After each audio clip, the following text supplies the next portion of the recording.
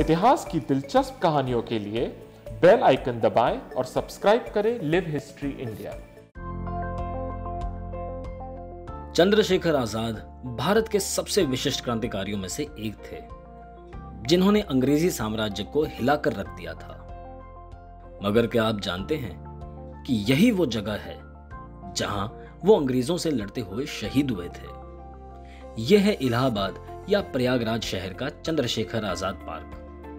जहाँ उनके बलिदान की यादें आज भी ज़िंदा हैं। इतिहास से ओतप्रोत यह सुंदर पार्क कुछ महत्वपूर्ण ऐतिहासिक घटनाओं का गवाह रहा है। दिलचस्प बात यह है कि इसका निर्माण इलाहाबाद में अंग्रेज़ों के शासन की एक निशानी के रूप में हुआ था। पर यह पार्क उन्हीं के खिलाफ हुए स्वतंत्रता संग्राम का एक प्रतीक बन गया। आज भी इस बड़े पार्क में कई ऐतिहासिक स्मारक मौजूद हैं, जो इस स्थान की कहानी बयां करते हैं। इसे इलाहाबाद का सबसे बड़ा पार्क माना जाता है। इलाहाबाद शहर से अंग्रेज़ों का संबंध सन 1765 में ट्रीटी ऑफ़ इलाहाबाद के तहत शुरू हुआ था। इसके बाद बंगाल की दीवानी, जिसमें बिहार और उड़ीसा शामिल थे, ईस्ट इंडिया कंपनी को दी गई थी। और इलाहाबाद पर भी उनका शासन हो गया था। बहुत कम लोग जानते हैं कि इलाहाबाद शहर अठारह में एक दिन के लिए ब्रिटिश भारत की राजधानी था।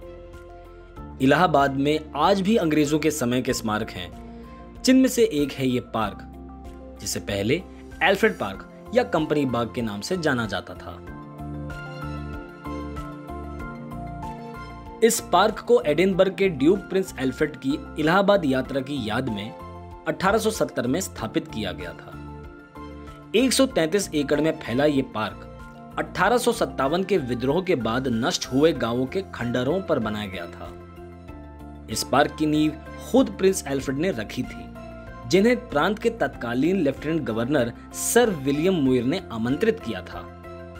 क्या आप सोच सकते हैं कि यह पार्क अंग्रेज़ों के बीच एक बेहद लोकप्रिय स्थल था, जहाँ कई हाई टी पार्टियों और बैंड नाइट्स जैसे कार्यक्रमों का आयोजन किया जाता था। पर जैसा कि इसके नाम से आज स्पष्ट है यह पार्क महान स्वतंत्रता सेनानी चंद्रशेखर आज़ाद और उनकी लड़ाई का एक प्रतीक है। इसी पार्क के अंदर 27 फरवरी 1931 को हिंदुस्तान सोशलिस्ट रिपब्लिकन पार्टी के क्रांतिकारी आज़ाद ने ब्रिटिश पुलिस अधिकारियों से घिरे होने पर खुद को गोली मार ली थी। उनकी बहादुरी और शहादत की याद में भारत की स्वतंत्रता के बाद पार्क का नाम चंद्रशेखर आज़ाद पार्क रखा गया।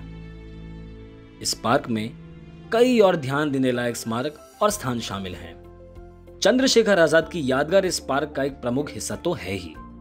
प्रसिद्ध इलाहाबाद संग्रहालय, जिसमें चंद्रशेखर आज़ाद की पिस्तौल भी रखी है, इसी पार्क के हिस्से में मौजूद है। इसके अलावा यहाँ क्वीन विक्टोरिया का एक बड़ा संगमरमर का स्मारक है, पर आज यहाँ उनकी मूर्ति नहीं है। साथ ही कुछ अन्य अंग्रेज़ अधिकारियों के स्मारक भी शामिल हैं।